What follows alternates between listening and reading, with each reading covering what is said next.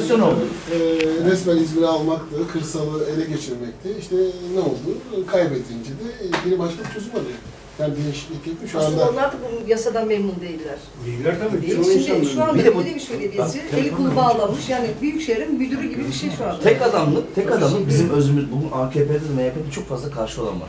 Tek adamlık ne İslam'ın ruhuna uyar, istişare diye bir şey vardır. Ne eski Türkler adetlerine uyar. Yani